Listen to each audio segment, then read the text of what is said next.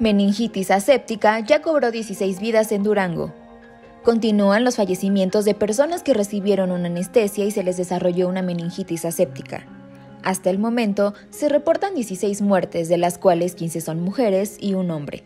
Asimismo, se contabilizan 68 casos de personas en observación en los hospitales de Durango.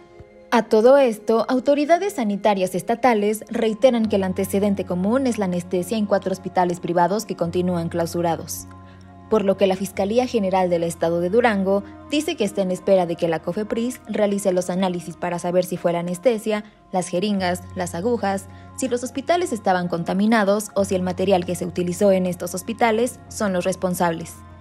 Aunque las autoridades sanitarias del estado explicaron que COFEPRIS tardará entre dos y cuatro semanas para dar los resultados de lo que pasó en los cuatro hospitales privados, y con ellos empezará a deslindar responsabilidades.